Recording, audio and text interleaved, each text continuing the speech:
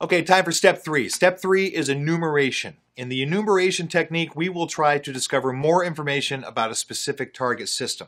So after scanning and defining which targets to attack or penetrate, we need to now identify some deep information. It's uh, kind of like gathering information, but in an advanced way. So let's say that we are trying to enumerate an Active Directory server. We would try LDAP enumeration here. LDAP enumeration can give us user accounts, groups, computer accounts, Active Directory, and so on. Now, if we are trying to enumerate a particular Windows machine, not necessarily a joint or Active Directory domain, we can use IPC enumeration. This is done by using the command on CMD. If we are trying to enumerate a Linux machine, we can use RPC communication. We have RPC client that can help us do the enumeration on Linux. Now besides that, let's take a look at how many applications we have for enumeration. Now if you're not aware of the application names, you can simply go to Google, find out which application suits your target best. So let's go and navigate to information gathering and we're going to check out a couple of these applications. If you go to DNS, we have an SNMP analysis. We have 161, which is a great tool to enumerate SNMP services. We also have DNS Enum, which I believe is going to be in DNS analysis.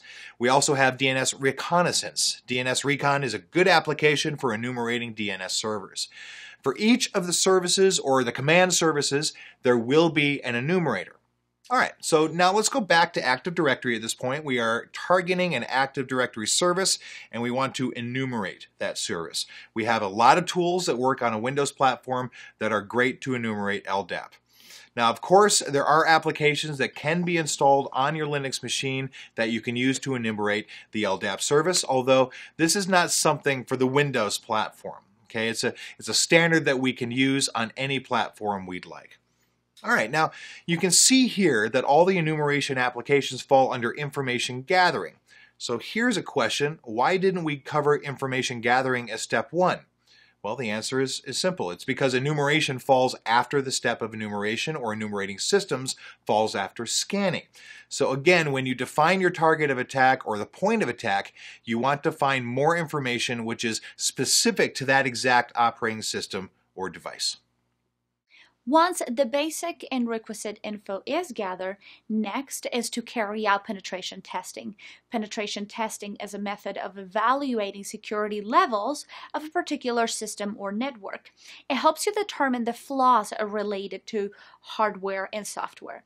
The early identification helps protect the network. If the vulnerabilities aren't identified early, they become an easy source for the attacker for the intrusion.